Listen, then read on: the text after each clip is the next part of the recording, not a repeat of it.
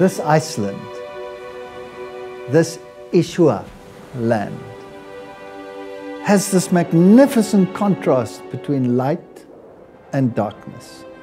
When you look at those black plains, those volcanic lava fields, these volcanic areas of the world and the stark blackness.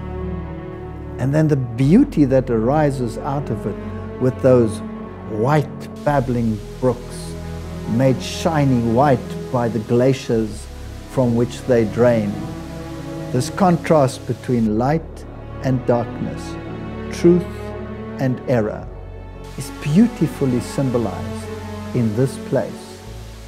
And it is a type of the decision that must be made based on the Word of God.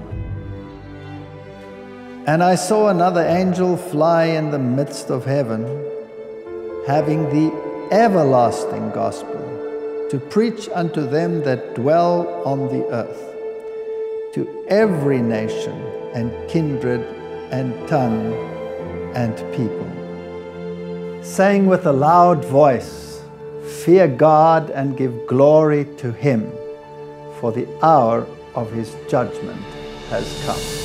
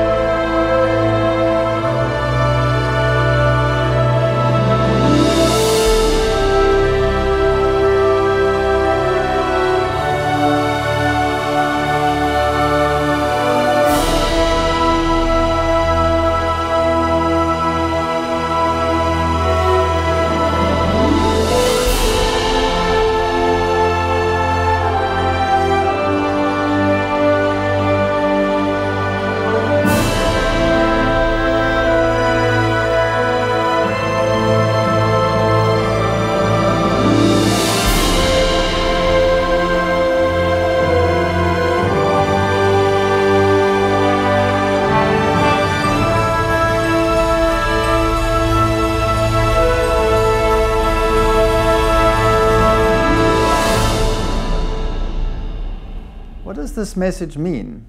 The hour of his judgment has come. We are living in a time of turmoil on this planet wars, rumors of wars, natural disasters, riots, anger. Is this message relevant for our time? How does it fit into the present day situation? Let's talk about it.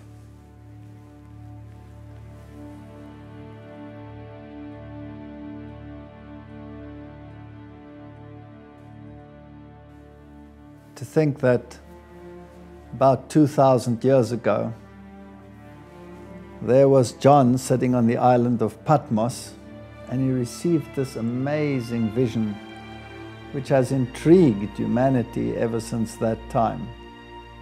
It played such an important role in unraveling the issues of the Reformation. And it will play a very important role in unraveling the issues of the times in which we are living as well. And I was wondering, whether we should not go into some detail and see exactly what this entails. Revelation chapter 14 deals with this tremendous opening of this throne room experience and the Lamb standing there surrounded by redeemed. And then it follows with this message that has to be given to mankind. The three angels' messages of Revelation chapter 14, commencing with verse 6. And I saw another angel fly in the midst of heaven, having the everlasting gospel to preach unto them that dwell on the earth, to every nation and kindred and tongue and people. So the everlasting gospel must once again be revived and it must be preached to the whole world. This is a universal language that is used here. Every nation, kindred, tongue, people, the whole world must be lightened with the glory of these messages.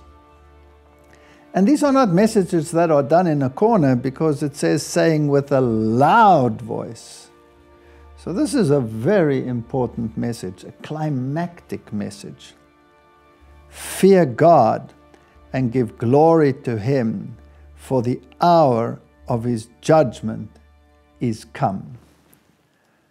Now, just prior to Revelation chapter 14, you have, of course, Revelation chapter 13, which uh, identifies the powers involved in this final struggle. You have the beast rising up out of the sea, and you have the beast rising up out of the earth. And by definition, a beast is a kingdom, it's a political entity. But you also have the image of the woman entwined in this beast.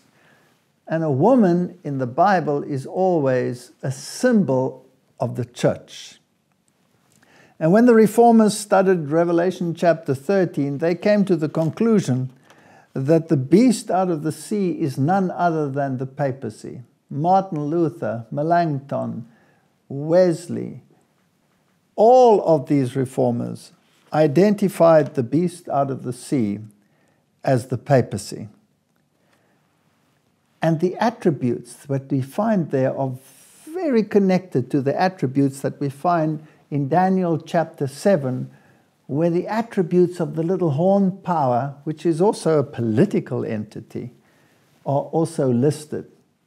There you have attributes such as a blasphemous power, persecuting the saints, all of these issues that you find in Revelation chapter 13 as well. So, this power was this politico religio system, the union of church and state, enforcing the doctrines of the church. Prior to chapter 13, you have chapter 12. And in chapter 12, you have this great conflict between good and evil. You have the dragon on the one side, and you have Christ and his angels on the other side. And it describes the conflict over the ages. And history written in advance, it is absolutely astounding. And here a woman is described, a church that would be persecuted relentlessly for this period of three and a half years, 42 months, 1,260 days. And the reformers applied the biblical principle of the day year principle. And so, if you calculate these times, it works out to 1,260 years because the Bible tells us to take a day for a year. And subsequent to the turmoils that describe the persecution of the bride of Christ during the time of papal supremacy, when this woman was being taken care of in the most solitary places, and they preached the gospel dressed in sackcloth and with bloodshed spread the word of God, whereas the politico religious system was growing in stature, being in the court of kings, receiving the accolades and the homage that they felt was due to them, being the higher power, the spiritual sword wielder, wielding the sword over the secular sword as well, and the secular sword being wielded on behalf of the spiritual sword. These were the issues under which the Reformation took hold. And then the woman had to flee. And for all those years, this war and conflict drove the woman, the church of God, into wilderness experiences. And they fled, and they fled to the various parts of the world where they could have peace and practice their religion. And at that time, the United States was being colonized, North America, Africa was being colonized, the Australias and New Zealand, they were being colonized, and Protestantism spread to the New World. With the rise of the power of Protestantism, complacency set in. And again, there was a regression, just as we have in the history of Israel. You have this blossoming of truth and this adherence to principle, only to give way again to the decline and apostasy and deterioration. And as you had those waves of apostasy and waves of faithfulness following one after the other, the same was to happen in the Christian world. When persecution was rife, people were faithful, standing for principle even unto death. But when things began to calm down, persecution was not as obvious, complacency set in. And then there was this return back to the system as you had it before. And God had to raise up another people. And it says in Revelation chapter 12, verse 17, and the dragon, that is the devil, was wroth with the woman, with the church, and went to make war with the remnant of her seed, that which remained after the 1,260 days, or 1,260 years of papal supremacy which, by the way, stretched from 538 AD, when the Bishop of Rome climbed onto the papal chair and not only wielded religious power, but also wielded political power. And then in 1798, this power was removed by the French authorities. Berthier marched into Rome and abolished the papal government, the secular government, and the modern Italy was born. But this power was to receive its power back again. And so the Bible says, even though he had received a mortal wound, the mortal wound would be healed, and the whole world would again wander after the beast. And therefore, the schism that had taken place in the Reformation should be healed and everybody would once again come together. But there was a group that would be determined to stick to the principles of Scripture rather than to succumb to the popular theology of the day. And the dragon was wroth with this woman, this church. And he went to make war with the remnant of her seed, which keep the commandments of God and have the testimony of Jesus Christ.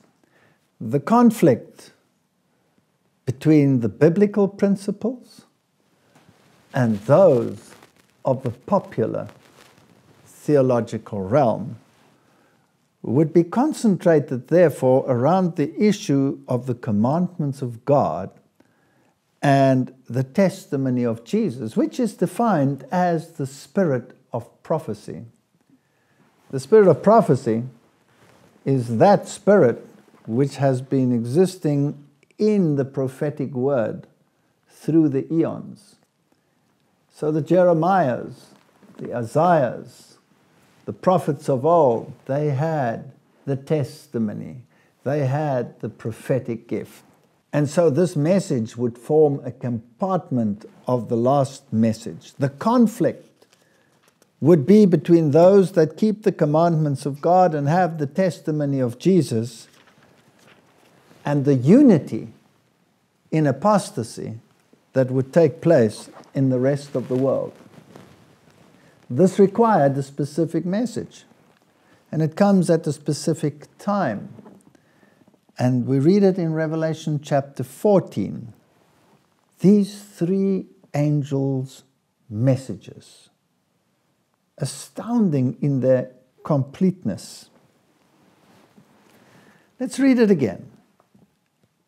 And I saw another angel flying in the midst of heaven. So, this is a lightning message.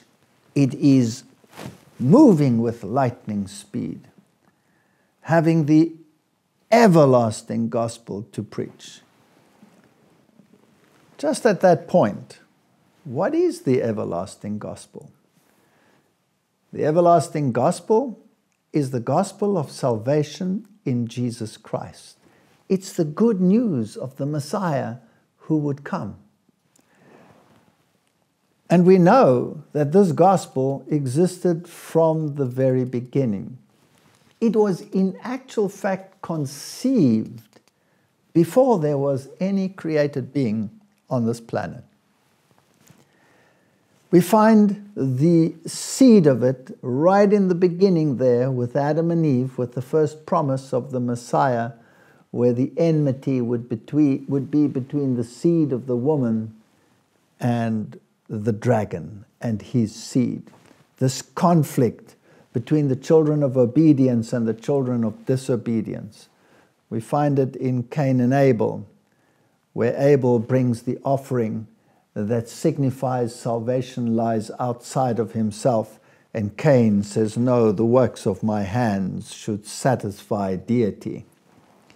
And this conflict, as it started there, has progressively appeared over and over and over again in the history of humanity. But the gospel hasn't changed.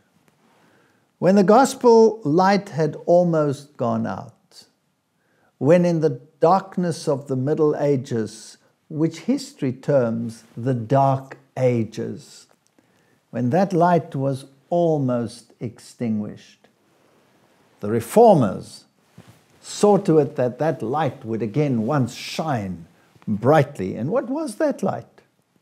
Salvation lies outside of ourself. Justification is by faith in the completed work of the Son of God. We appropriate salvation by faith by grabbing hold of the promise and relying on a sacrifice which is outside of ourselves. Justification by faith and not by works. And this conflict between faith and works, between the words of Romans and the words of James, raged in that early period of Protestantism and Martin Luther, when he discovered the glorious gospel of salvation in Christ, had a conflict with the book of James. And he called it the Epistle of Straw. But later on, as he studied deeper into the issue, he saw the relationship. At one stage, he offered his doctor's hat to anyone who could reconcile Romans and James but after a while, he came and took the doctor's cap and he put it onto his head because he himself had reconciled them. You see, works were a consequence of the salvation and not a means to the salvation. So faith without works is dead, but works can never ever save you. This is something that is completed totally outside of yourself. It is by faith in the Son of God that we receive our salvation. It is by believing the word and accepting it as though it were a reality. Faith is the substance, the reality of things hoped for, the evidence of things not seen. So faith becomes a living reality in the soul by which we appropriate the salvation that is offered in Jesus Christ. This is the everlasting gospel. Opposed to it, you have the gospel of works. So when the Reformer says you are saved by faith alone, the Counter Reformation said this word alone has no place, and it was anathematized. The Council of Trent said that those who claim that salvation is by faith alone are an anathema. And so the stage was set for the blood to flow again. And the blood of the saints flowed, and history tells us what the result was. Millions on millions of people lost their lives because they took their stand either for the one side of the gospel or the other side of the gospel. Were we saved by works or were we saved by faith in the word? And today, there seems to be compromise. It seems as though they've reached the compromise position because it says in their joint declaration on justification, where the Protestant world has aligned itself once again with the Catholic world, and they've put the definitions together, or so they say, and have defined it that together we confess that by grace alone, in Christ's saving works, we are justified. But that is not the same as to say, by faith alone, by grace alone, is not the same as to say, by faith alone. Because grace can be administered also by other parties. Forgiveness can come by other means. In indulgences, for example, it is the papal system that dispenses grace by relieving the penalty of sins already forgiven, which should be worked off in a place invented for this cause, namely purgatory. And Protestantism acknowledges none of that because it doesn't occur in the Bible. So by grace alone is not the same as by faith alone and by Christ's saving works is not the same as by the blood of the Lamb. You see, Catholicism teaches that there is a treasury of merit. And in this treasury of merit are the good works of Christ, but also the good works of Mary, which the Catechism defines as pristine in the eyes of God. And not only the works of Mary, but also the works of the saints.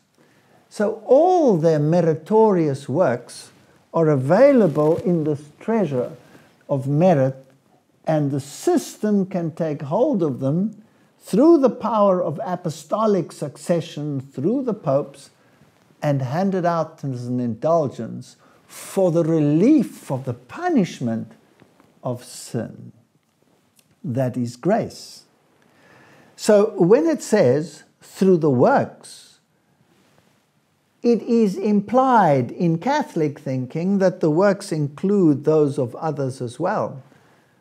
But in the biblical thinking, salvation is in Christ and Christ alone. There is no other name whereby we can be saved.